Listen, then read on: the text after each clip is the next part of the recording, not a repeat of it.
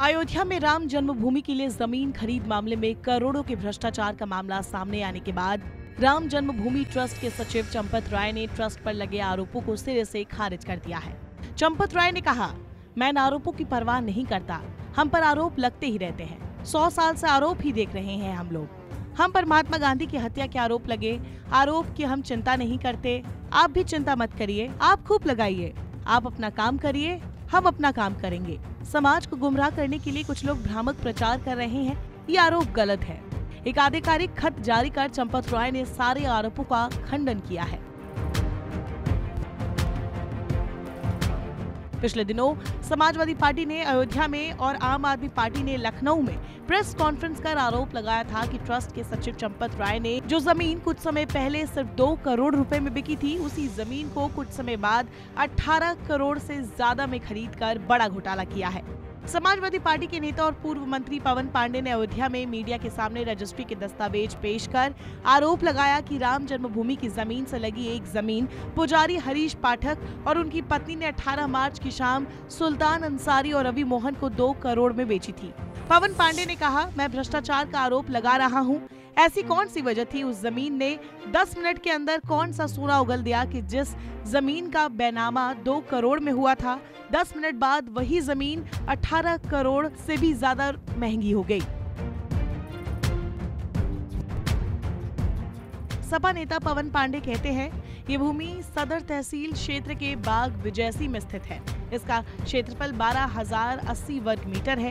ये भूमि रवि मोहन तिवारी नाम के एक साधु और सुल्तान अंसारी के नाम बेनामा हुई थी। ठीक 10 मिनट बाद इसी भूमि का ट्रस्ट के महासचिव चंपत राय के नाम 18 करोड़ 50 लाख रुपए में रजिस्टर्ड एग्रीमेंट कर दिया जाता है। बेनामा रजिस्टर्ड एग्रीमेंट 18 मार्च 2021 को किया गया। सपा, आप और कांग्रेस, बीजेपी के खिलाफ आक्रामक हो गई है। विपक्ष इस पूरे मामले की जाँच की मांग कर रहा है।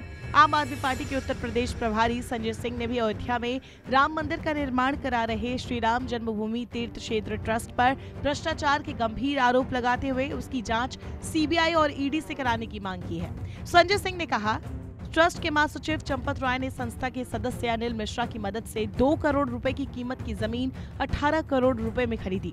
ये सीधे सीधे मनी लॉन्ड्रिंग का मामला है। सरकार इसकी सीबीआई और ईडी से जाँच कराए। संजय सिंह ने कहा कि दो करोड़ की ज़मीन खरीद व अठारह करोड़ के एग्रीमेंट दोनों में ट्रस्ट के सदस्य अनिल मिश्रा गवाह है, इसीलिए इसकी जाँच की जानी चाहिए। आरोपों पर सफ़ाई देते हुए चंपत राय ने कहा, ट्रस्ट की ओर से अभी तक जितनी भी जमीनें खरीदी गई है, वो खुले बाज़ार से कम कीमत पर खरीदी गई है। जिस ज़मीन खरीद को लेकर आरोप लग रहे हैं, उस ज़मीन का सालों पहले जिस कीमत पर रजिस्टर्ड एग्रीमेंट हुआ था, उस 18 मार्च 2021 को विक्रेताओं ने पहले बेनामा कराया और उसके बाद ट्रस्ट के साथ एग्रीमेंट किया। लोग राजनीतिक विद्वेश से प्रेरित होकर भ्रम फैला रहे हैं। इस पूरे मामले पर कांग्रेस भी बीजेपी पर हमलावर है। कांग्रेस प्रवक्ता रणदीप सुरजेवाला ने ट्वीट कर कहा, हे राम, ये कैसे दिन? आपके नाम पर चंदे लेकर घोटाले हो रहे हैं। बेशर्म लुटेरे अब आस्था बेच रावण से अहंकार में मदमस्त हैं। सवाल है कि दो करोड़ रुपए में खरीदी ज़मीन 10 मिनट बाद राम जन्मभूमि को 18 करोड़ में कैसे बेची? अब तो लगता है कंसों का ही राज है। रावण है चहु ओर। हे राम, ये कैसे दिन?